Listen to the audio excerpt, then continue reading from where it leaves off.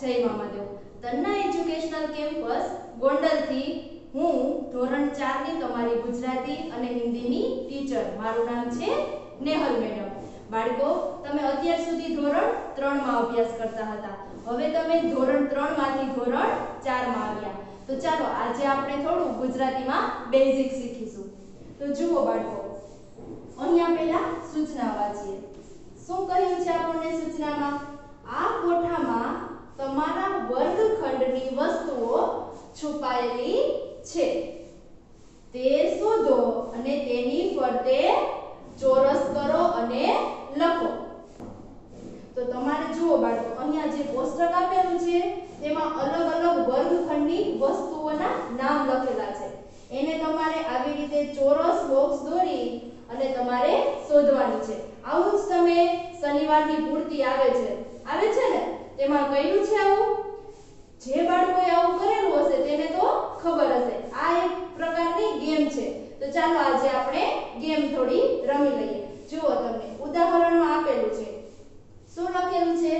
Table તો એમાં તમારે ચોરસ કરેલું આપેલું છે. એવી જ રીતે હવે આપણે વર્ગખંડની બીજી અલગ અલગ વસ્તુઓ ગોતી અને તેની ફરતે આપણે ચોરસ કરવાનું છે. તો ચાલો હવે તમને બીજી કોઈ વસ્તુ દેખાય છે? જુઓ અહીંયા. ડસ્ટર. છે? તો તેની ફરતે શું કરીશું આપણે? ચોરસ કરવાનું છે. શું કરવાનું છે? ચોરસ. તો ચાલો કરો.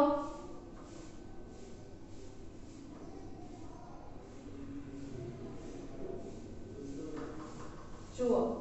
ડસ્ટરમાં ચોરસ કર્યું. હવે તેની જ ઉપર જુઓ.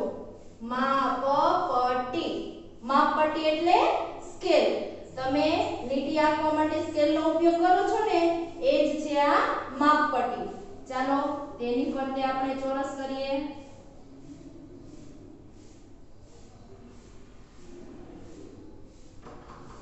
હવે બીજી કોઈ વસ્તુ દેખાય છે બાળકો જુઓ તો.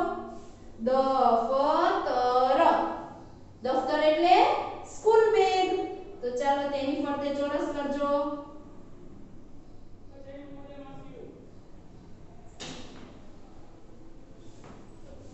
હવે બીજી ક્લાસરૂમમાં કઈ વસ્તુ હોય છે?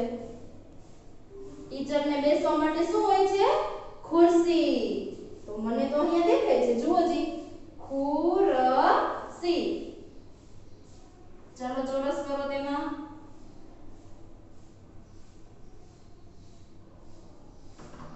ચાલો, ખુરશી તો થઈ ગયું. હવે બીજું તમને અહીંયા કોઈ દેખાય છે વર્ગખંડની વસ્તુ હોય એવું જુઓ જી હા શું હોય છે પંખો તો પંખો તમને અહીંયા કઈ દેખાય છે જુઓ અહીંયા પંખો છે? તો કરો ચાલો તેમાં બોક્સ હવે તમે સ્કૂલે આવો, તો તમે ભણો. શેમાંથી? બુકમાંથી. તો એને ગુજરાતીમાં શું કહેવાય? ચોપડી. તો જુઓ અહીંયા ચોપડી છે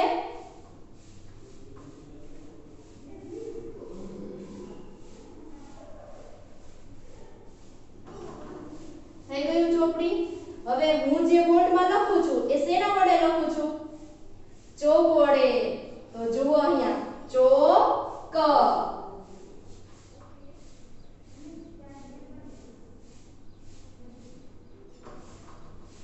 થઈ ગયું ચોક હવે? હવે કઈ દેખાય છે? હજી કોઈક વસ્તુ હશે. જુઓ જી. કઈ દેખાય છે હા જુઓ અહીંયા કબાટ તો કબાટ હોય છે ક્લાસરૂમમાં ટેબલમાં હોય છે ને ખાનું એ કરો